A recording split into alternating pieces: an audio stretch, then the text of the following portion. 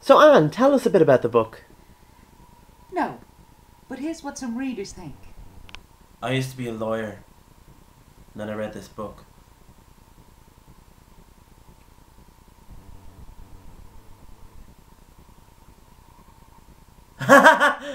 That's funny. I only read the book because I needed a break from scratching myself. But it's really good.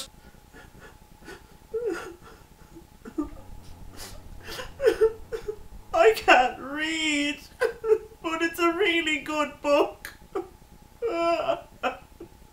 This is my favourite book.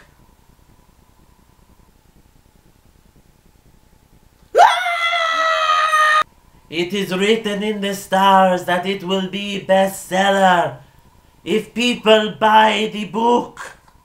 I really, really like this book.